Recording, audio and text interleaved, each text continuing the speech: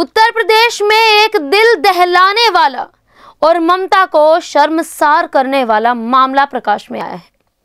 प्रदेश के फरुखाबाद ज़िले के जलालाबाद के मोहल्ला नौसारा में एक कलयुगी बेटे ने अपनी माँ को ही ज़िंदा जला दिया। बेबस माँ चीखती रही और तड़पती रही। मगर हैवान बने बेटे का दिल नहीं पसीजा। पड़ोसियों ने जली हुई महिला को अस्पताल में भर्ती कराया, जहाँ उसकी हालत गंभीर बनी हुई है। बताया जाता है कि जलालाबाद के मोहल्ला नौसारा निवासी रत्ना गुप्ता के दो बेटे और एक बेटी है। पति शिवम गुप्ता का लगभग 20 साल पहले देहांत हो गया था। सबसे बड़ी बेटी की शादी हो चुकी है।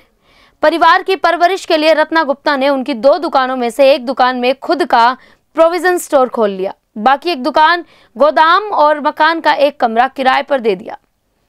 रत्ना गुप्ता ने बड़े बेटे आकाश की शादी कर दी, लेकिन उसने अपनी पत्नी को छोड़ दिया।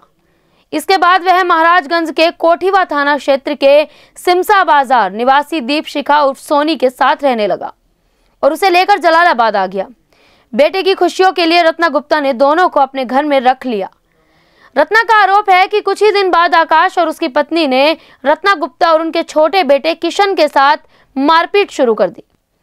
इससे तंग आकर रत्ना गुप्ता ने बहू और बेटे को बेदखल कर दिया।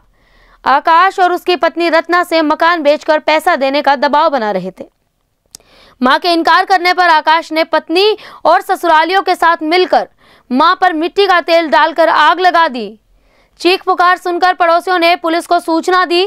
मौके पर पहुँची पुलिस ने आग से झुलसी रत्ना को अस्पताल में भर्ती कराया, जहाँ उनकी हालत गंभीर बताई जा रही है। कोतवाल जसबीर सिंह ने बताया कि मामले पर मुकदमा दर्ज कर लिया गया है।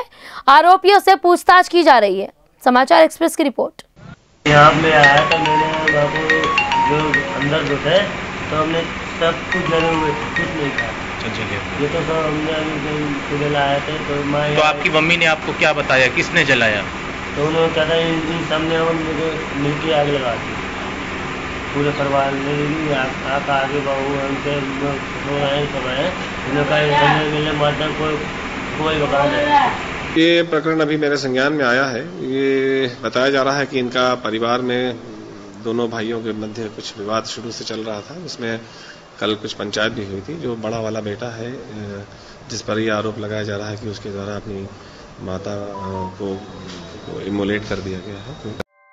ऐसे ही लेटेस्ट खबरें पाने के लिए बेल आइकन को क्लिक कर हमारे चैनल को लाइक शेयर एंड सब्सक्राइब करें। धन्यवाद।